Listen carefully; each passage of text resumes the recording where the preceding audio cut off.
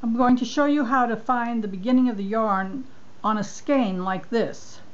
If you pull the label down you'll see that they have very nicely put it there for you.